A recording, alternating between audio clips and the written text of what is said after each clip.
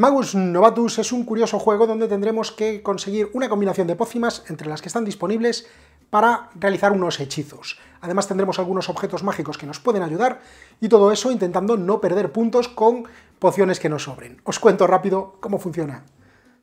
Pues aquí tenemos el despliegue de este Magus Novatus. Para empezar, tendremos que disponer una cuadrícula de 5x5 cartas de poción.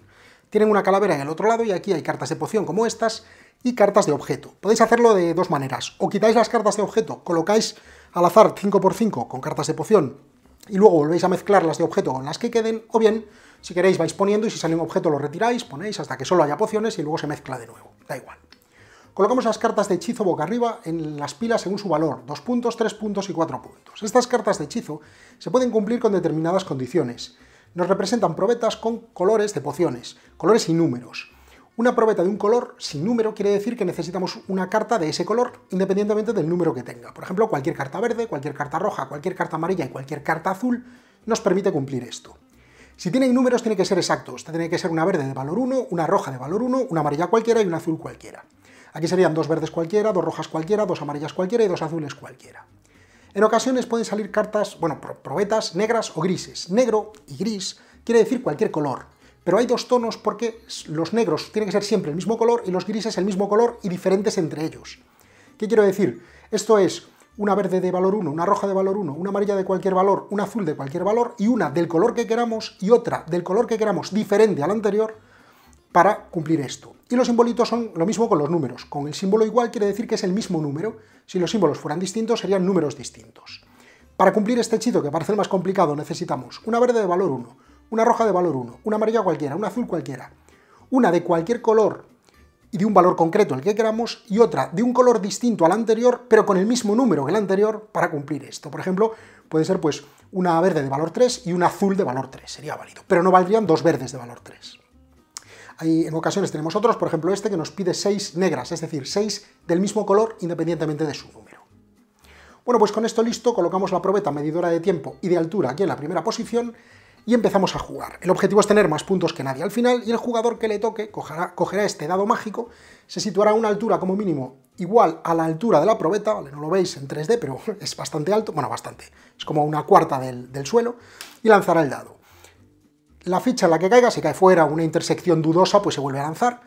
La ficha en la que caiga o la poción en la que caiga determina la columna y la fila de la que el jugador puede escoger cartas. Y podrá escoger cualquier carta del mismo color o del mismo valor de la columna o la fila. Por ejemplo, aquí podría coger estas tres amarillas, estas dos rojas, podría coger, por ejemplo, estos dos treses, este 1, este 2, este 4, sueltos, o bien aquí podría coger estas tres cartas porque tienen valor 3 de distinto color, o estas dos amarillas, o este, esta verde suelta. Supongamos que escojo, por ejemplo, estas tres.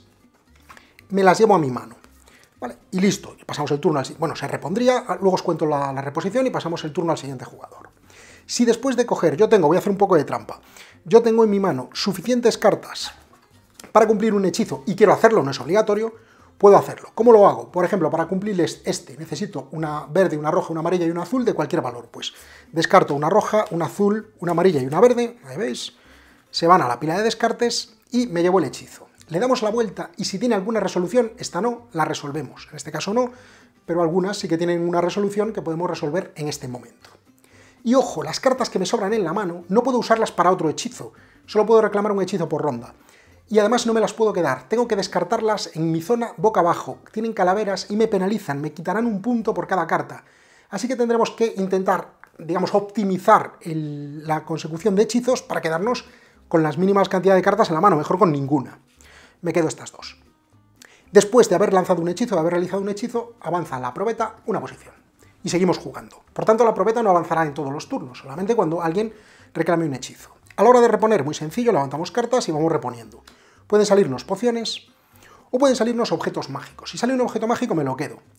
Si sale otro, se lo paso al siguiente jugador, solo me puedo quedar un objeto mágico, se lo paso al siguiente. Si sale otro, al siguiente del siguiente. Si sale otro, al siguiente.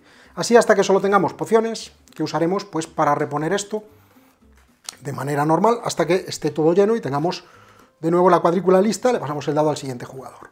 ¿Para qué sirven estos objetos mágicos? Os cuento. Las setas son curativas, nos permiten, descartando unas setas, quitar una calavera, y así menos puntos que perdemos. La poción mágica, esta, el elixir, es una poción, eh, digamos, comodín, sirve de cualquier color, cualquier valor, sirve para, más adelante, pues descartarla para conseguir un hechizo, pues si nos falta una concreta. La varita mágica me permite observar la pila de descartes, buscar una de las pociones que quiera de la pila y llevarla a mi mano. Y por último, la maldición. Cuando tenemos una maldición no podemos lanzar hechizos, pero podemos deshacernos de la maldición de dos maneras. O descartamos dos cartas de poción de la mano y descartamos la maldición, o descartamos tres y le pasamos la maldición a otro jugador que no podrá lanzar hechizos hasta que se deshaga de la misma. Bueno, pues así vamos jugando, cada vez que hay un hechizo se avanza esto y según el número de jugadores, dos jugadores cuando llegue aquí, bueno, esto se mueve en este sentido, cuando llegue aquí dos jugadores, cuando llegue aquí tres jugadores o cuando llegue aquí cuatro jugadores, se acaba la partida. Y sumamos los puntos, los puntos de los hechizos y restamos las calaveras. El que tenga más, habrá ganado. Ya lo habéis visto, un juego familiar que nos trae Atomo Games y que podéis disfrutar a tope haciendo vuestras pociones y siendo unos magus novatus.